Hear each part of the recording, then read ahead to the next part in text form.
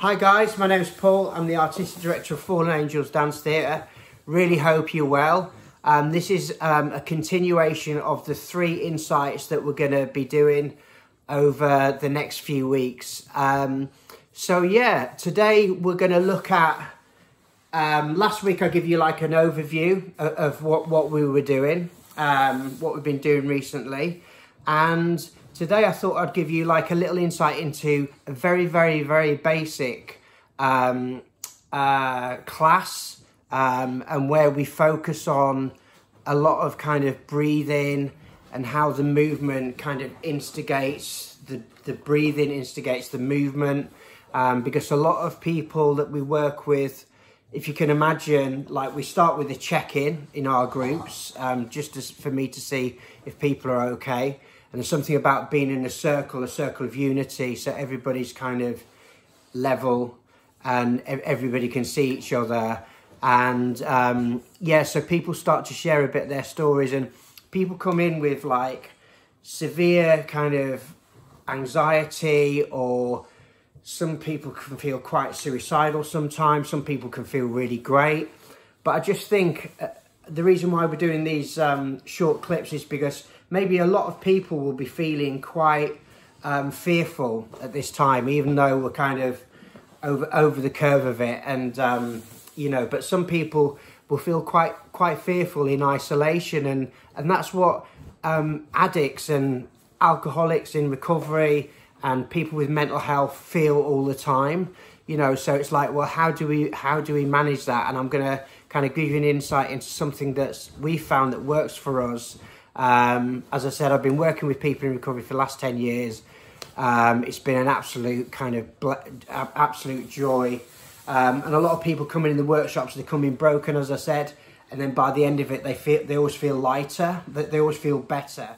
Yeah, so what we're going to do today, we're going to do some very simple breathing techniques um, because what we found is that a lot of people come with things in their head and so what it is, it's kind of trying to get into the body. So out of the mind and into the body. Um, was one of our board members, Ali Roy, was saying that, um, you know, it, it's quite interesting that people want to get out of their mind when they're taking drugs, but like in recovery, we do the same thing. Um, but obviously it's more, it's healthier for us. Um, and it's more healing as well. So by by getting into the body and out of the mind. So what we usually do is people come in with like thinking about the past or the future, so they're not really focusing on the the, the present moment.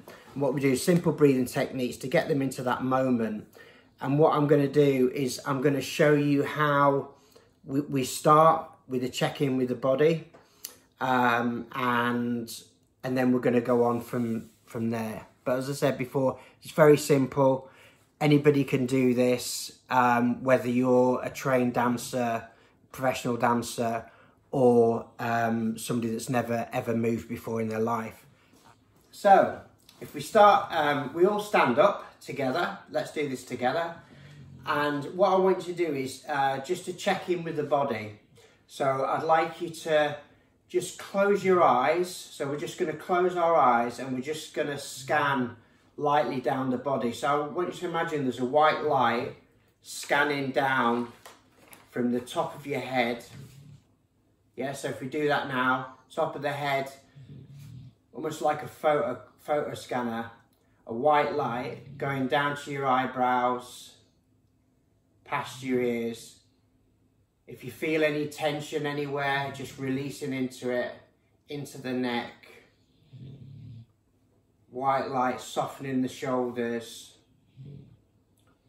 softening the rib cage, and down the elbows, past the wrist, into the hands, a white light into the hand through the fingertips, down to the top of the legs, into the knees, back of the knees, softening into the calves, and into the top of the ankle, And then the white light is going into the floor, just releasing any energy. And then I want you to think of a two-way stretch. So I want you to imagine there's a white light and energy going through the top of your head and it's rooted also into the floor. So there's an awareness, I'm pulling at the top of my legs and I'm softening my ribs and I'm relaxing my shoulders. So I'm really focusing on the on the body. If there's any tension, as I said before, just gently release into it, just soften it. And now we're just going to do some breathing, some breathing techniques. So I'm going to close, I'm going to breathe through my nose, I'm going to breathe in, and I'm going to hold, and then I'm going to breathe out, and then I'm going to hold. Okay? So just simply, we're going to breathe in through the nose, breathe in, hold, and release out. And breathing in. Hold. And release out. And breathe it in. Hold. And release out. And breathing in. Hold and release out. And then just relax. Okay, we're just going to gently open our eyes. And then just feel how the body feels now. Okay, good. Yeah. So that's the first part of how we would start. We might start with some breathing to start with.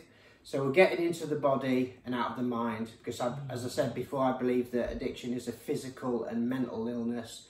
So we do a lot of, of work on the mind, but not necessarily on the physical. So by working on the physical, it is actually healing the mind rather than the mind healing the in, healing the body.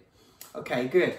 So, as I said before, I'm a a ballet dancer, an ex-ballet dancer. I'm going to attempt a, a port de bras. I'm a bit rusty.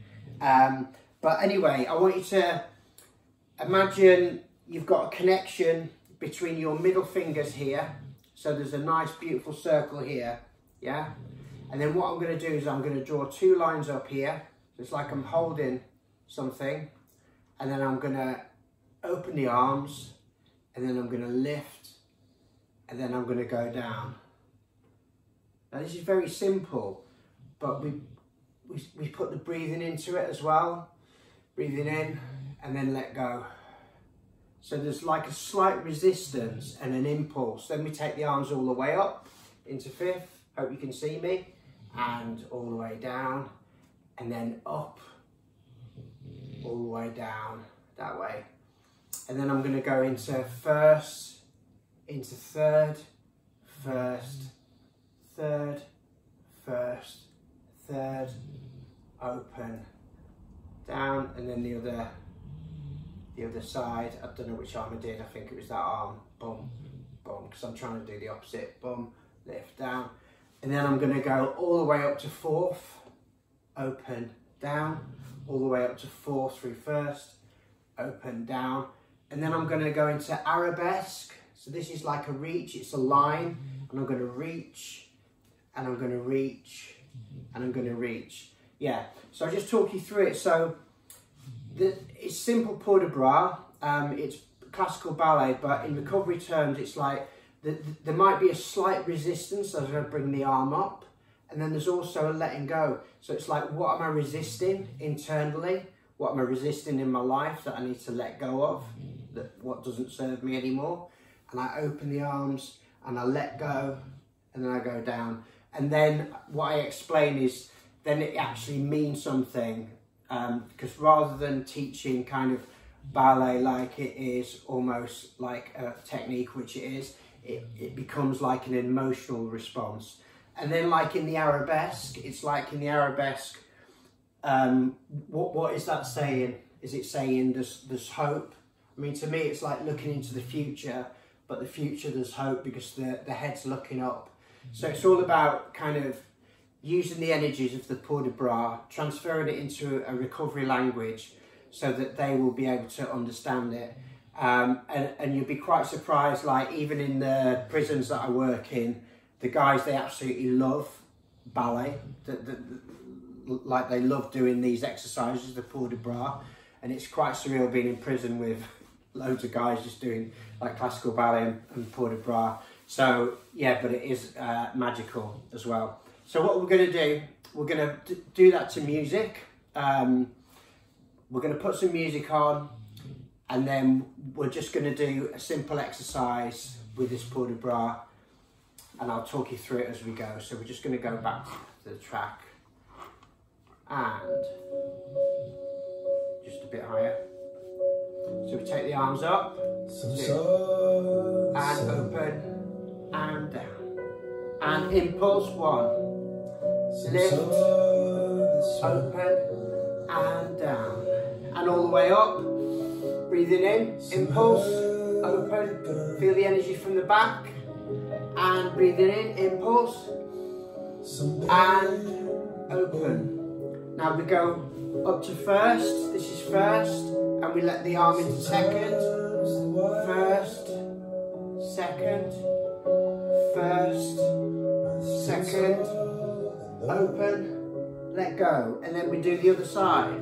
One, two, gather the energy in, let the energy go, gather it in, release, open, lift, now we go all the way up, and one, open, and lift. Down. And impulse one. Two. Three. And then we go into the arabesque. Breathing in. And out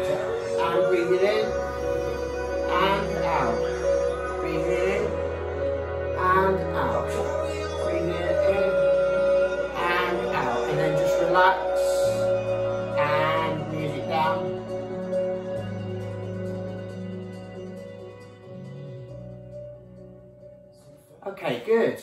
Yeah, so with that, very simple exercise. First port de bras, second port de bras, and then we did um, first and third. But yeah, we, we were talking a lot about energies and about emotion and resistance and letting go and gathering the, the energy in and releasing the energy. So, so it's really quite powerful. And what we found is that when we've been doing these exercises, because they're focusing on the exercise, it's getting them into the body and out of the mind. So within a matter of, this is the very, very start of the exercise, uh, start of the class, within a matter of 15 minutes, they've forgotten what they were thinking about before, which is a fantastic thing because what dance does, it actually gets you into that present moment, which we need to be. Um, so yeah, uh, that's like the first thing that um, that that's how I would start a class basically. Yeah, so I really hope you've enjoyed today. Um, just a very basic insight to what we've been been doing recently. Um, next week we're going to be looking at improvisation. Um, so it's going to be taken up another level. I really hope you've got a lot out of it. Um, if you have, leave a positive comment um, or leave, leave whatever comment. It'd be great to hear from you or share, like it. Um, and so we can get everybody moving and getting out of the mind and into the body. See you next week.